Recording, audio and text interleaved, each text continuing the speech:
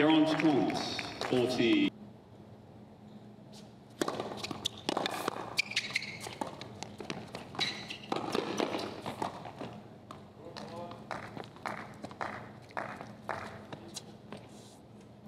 Trente.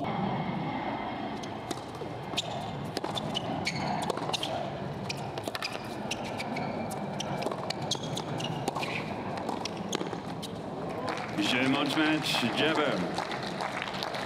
6-1, 6-3, 6-1, 6-3.